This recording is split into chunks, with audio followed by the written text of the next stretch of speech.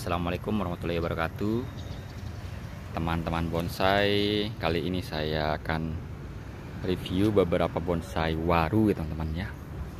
Ini ada bonsai waru variegata Nah ini bodinya sudah lumayan ya teman-teman ya. Ukurannya udah besar. Seperti ini teman-teman penampakan.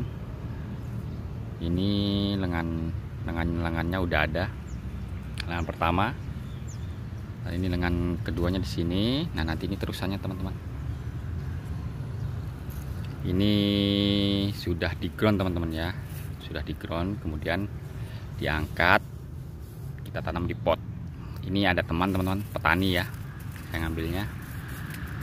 Saya ngambil cepat aja beli yang sudah besar biar nggak terlalu lama. Nah, kemudian ini ada waru juga teman-teman Taiwan ya. Sama bodinya teman-teman. Big size juga. Sama penampakannya seperti ini teman-teman. Ini saya buka ya. Lengan-lengannya udah ada lengan pertama lengan keduanya. Dan ini nanti untuk ngatur headnya kita ya. Ke atas terusan. Ini perbandingannya teman-teman. Perbandingannya lumayan. Akar udah jos ya.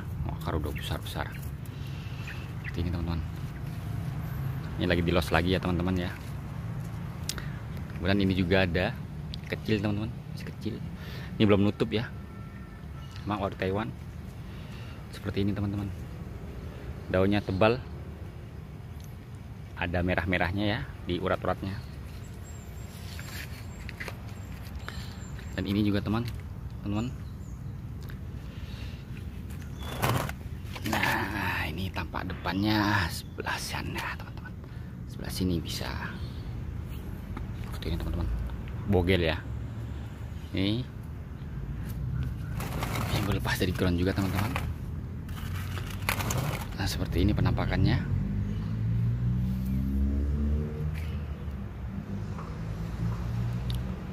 Nah ini waru India teman-teman. Batangnya putih ya. Cuman ini gagal teman-teman. Ini gagal ini mati ya. Ini karena potnya kekecilan kemarin kurang besar airnya mati sebelah ini kering. Dan ini lagi ada waru Taiwan juga sama. Ini lengan kanan kiri sudah ada. Cuma untuk headnya masih kecil teman-teman. Ini kita nunggu besar dulu. Ini lama belum terbentuk ya.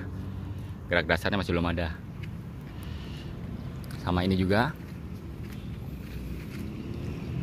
ini bogel juga teman-teman.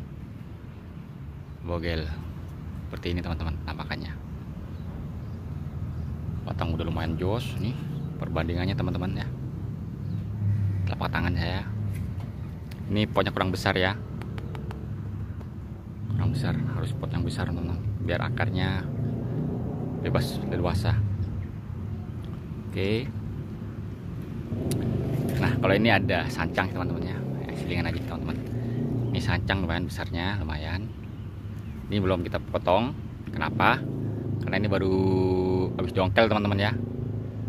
Dari kawan juga ini sama di kawan. Mesin dongkel saya ambil. Belum saya bentuk atau belum saya potong-potong. Karena saya nunggu tunas-tunasnya keluar ya teman-teman. Karena kalau sancang agak susah sih programnya kadang-kadang tunasnya nggak keluar kalau udah kita potong sebelah sini. Makanya kita tunggu dulu potong sekian sekian tingginya nanti nunggu keluarnya. Udah keluar baru kita bisa tentukan. Seperti ini teman-teman. Ini sudah ada mata tunasnya untuk lengan pertamanya ya. Nah ini juga ada nih kecil nih. Nah nanti baru baru kita potong bisa. Namun lebih baik kita cangkok teman-teman. Sayang ini batangnya agak gede. Sama juga halnya seperti ini teman ini kita los dulu ya. Nanti pengepresannya nanti setelah tunas semuanya muncul. Muncul. Nah ini teman-teman kurang lebih yang tadi itu seperti ini ya teman-teman. Benih semua cuman ini lebih baru lagi. Dongkelnya lebih baru lagi jadi daun-daunnya belum keluar. Ini beberapa kita los. Ini bogel juga teman-teman ya bogel waru.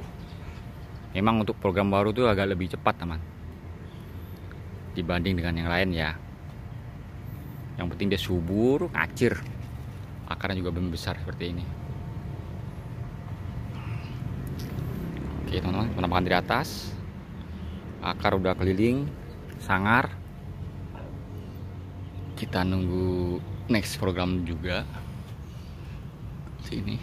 Oke teman-teman itu review beberapa bonsai waru ya teman-teman.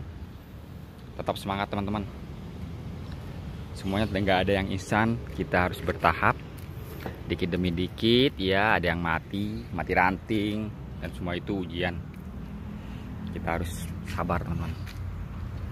Seperti itu teman-teman waduh oke terima kasih teman-teman. Semoga ini bisa membuat menjadi inspirasi kalian di dunia perbonsaian. Tetap semangat dan terus berkreasi. Salam satu hobi, bonsai mania.